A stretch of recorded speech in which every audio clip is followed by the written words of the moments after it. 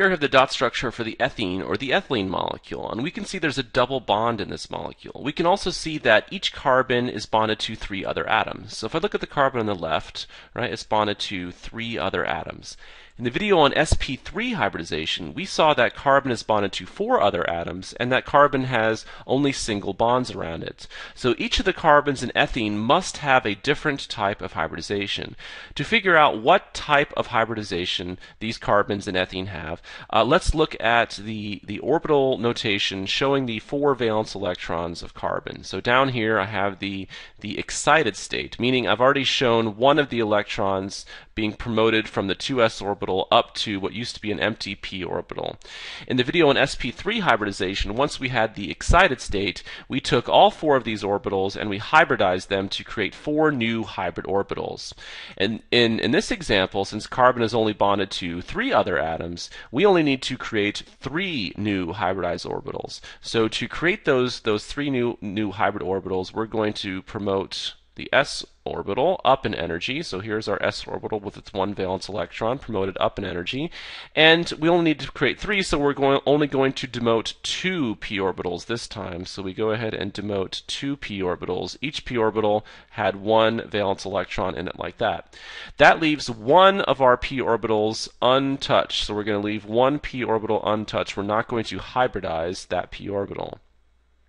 So now, now we no longer have an s orbital here. We're going to hybridize it with the with the other two p orbitals to create what we call an sp2 hybrid orbital. This is no longer a p orbital. It's now been hybridized to form an sp2 hybrid orbital, and uh, this last p orbital as well. It's no longer a p orbital. It's now an sp2 hybrid orbital, and and we call this sp2 hybridization because our new hybridized orbitals were formed from one s orbital and two p orbitals.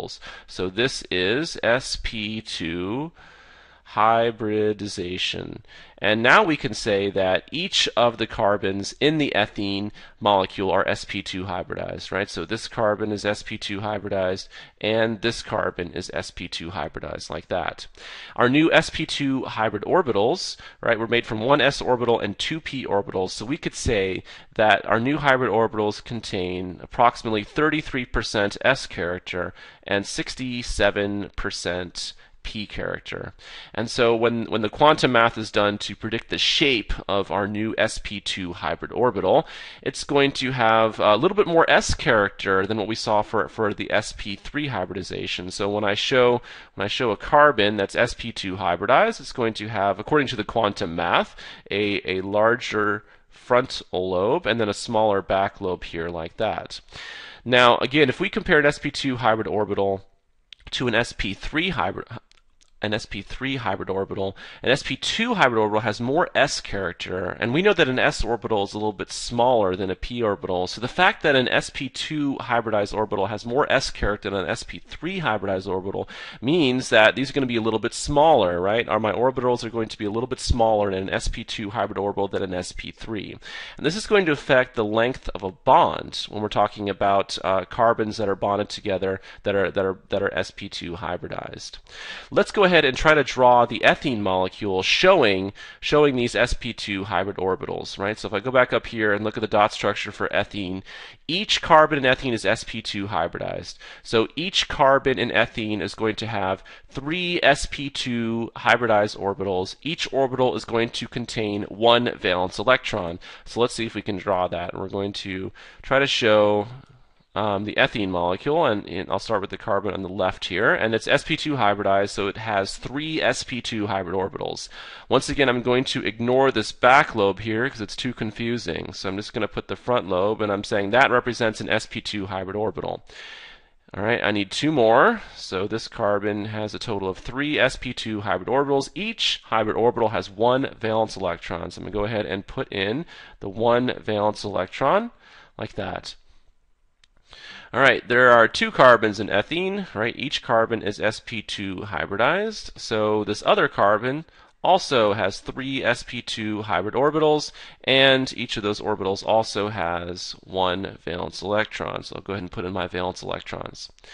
All right, there are four hydrogens in the ethene molecule, two hydrogens on each carbon. The hydrogen has one valence electron in an unhybridized s orbital. An unhybridized s orbital is shaped like a sphere, right? So this is the s orbital of a hydrogen atom, and there's one valence electron. So I'll go ahead and put in the one valence electron in there like that. So I can go ahead and put in the second hydrogen with its one valence electron, and then two more, two more for the carbon on the right. Okay, let's go back up to my, my orbital notation here. So we can see that each sp2 hybridized carbon has an untouched, unhybridized p orbital with one valence electron. p orbitals are shaped like dumbbells. So let's go ahead and draw in the unhybridized p orbital on an sp2 hybridized carbon. So there's my p orbital, and there's one valence electron in that p orbital. All right, this carbon on the right, since it's also sp2 hybridized, it also has an unhybridized p orbital shaped like a dumbbell with one valence electron in it like that. Now that we have the picture of the ethene molecule, uh, let's analyze the interaction of these orbitals. So if I look at um, these two sp2 hybrid orbitals between my two carbons, right, they're overlapping in a head-on fashion, right? And we said that head-on overlap is a sigma bond, right? So there's a sigma bond between my two carbon atoms like that. There's a head-on overlap between the sp2 hybrid orbital of this carbon on the left and this s orbital of the hydrogen. So that's a sigma bond.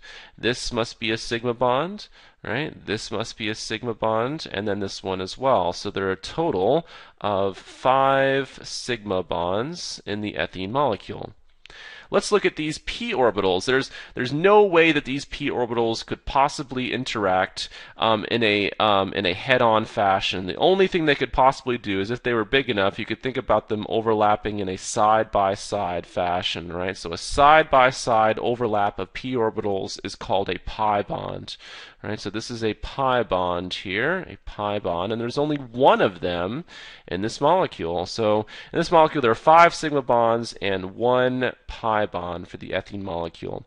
Let's look at that sigma bond that's in between my two carbon atoms, right? So I'm looking at this sigma bond right here in between my two carbon atoms.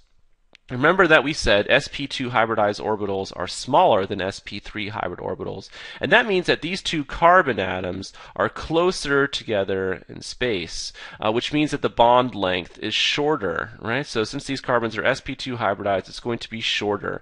And since we have uh, since we have one sigma bond between my two car- carbons and one pi bond, this is a double bond. And so this is this is one way to explain why a double bond is shorter than a single bond. It has to do with the fact that sp2 hybridized orbitals are smaller than sp3 hybridized orbitals.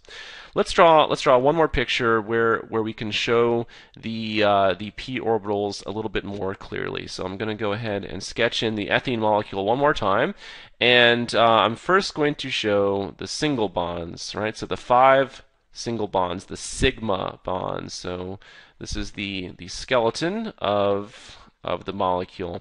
And I think this is a good time to point out that it's these hybridized orbitals that are going to uh, help determine the geometry of the molecule. So the ethene molecule turns out to be planar overall. So everything is planar. So you could think about all these atoms being on the same plane like a like a flat sheet of paper like that. And when we go ahead and draw in our pi bonds, sorry, uh, pi bond, there's only one of them here, right? This carbon has a p orbital. I'll draw it a little bit bigger. Right, and this carbon also has a p orbital. If I draw it big enough, I, I can show the fact that they can overlap side by side like that, right? So maybe I should have chosen a different color here, but you can see that there's some side by side overlap above and below the single bond between the two carbon atoms. And so this pi bond is going to prevent free rotation, right? If there were only a single bond between those two carbon atoms, uh, we could have free rotation about that bond. But the presence of the pi bond prevents free rotation. So when there's a double bond, there's no there's no rotation between the two carbon atoms. One thing that, that confuses students sometimes is they see the fact that there's uh, there's two areas of overlap, and so they think that must mean there are two pi bonds. Uh, but that's not the case. That's that's just the quantum probability of, of finding your your electrons. Um, there's really only one pi bond here, right? So there's one pi bond.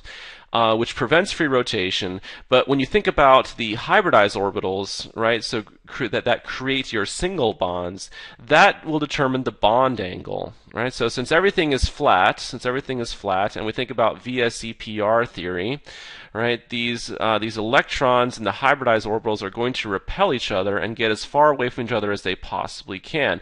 And so, since this is all on a plane, right? We would have uh, we would have 360 and divide that by three to find the bond angle, right? So it's approximately 120 degrees. And so this this picture helps us to understand uh, the bond angle, the geometry of the molecule, and and also the fact that there is there is no free rotation, right? So let's let's go ahead and let's just draw the dot structure one more time for for ethene and analyze it using all that we've uh, that we've figured out here. All right, so if you look at a dot structure and you're trying to figure out how many sigma bonds and how many pi bonds, uh, you, just, you just go ahead and count up your single bonds, and those are your sigma bonds. Right, so if I go ahead and, and highlight those, so this is a single bond, so that's a sigma bond, so here, right here, here. And between those two carbons, I know one of those bonds is a sigma bond and one of those bonds is a pi bond. It doesn't matter which one you say it is on the dot structure, so I'm, so I'm just going to say it's that one, right? So I can see my five sigma bonds like that.